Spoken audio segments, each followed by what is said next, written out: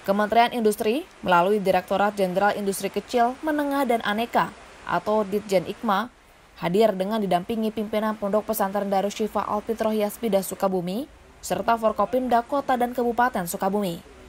Dengan memberikan fasilitas mesin, peralatan produksi pengolahan limbah ternak menjadi biogas dan pupuk organik.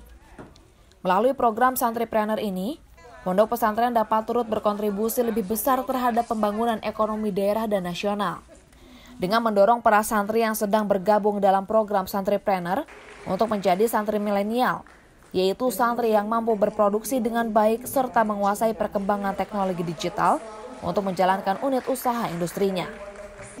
Penumbuhan pelaku industri wirausaha baru atau WUB dapat memberikan dampak positif pada roda perekonomian masyarakat.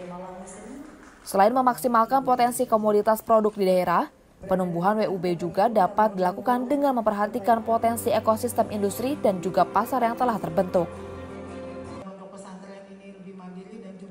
Berikutnya adalah bagaimana kita uh, memfasilitasi mesin peralatannya, apa saja untuk mengubah uh, kotoran sapi itu menjadi biogas kan pasti ada ada peralatannya dijual. Kemudian selanjutnya bagaimana kita alirkan tidak berhenti hanya menjadi biogas saja, tetapi bagaimana kita instalasi kalau bahasanya kan instalasi biogas yang dihasilkan supaya bisa dimanfaatkan menjadi energi untuk penerangan dari pesantren.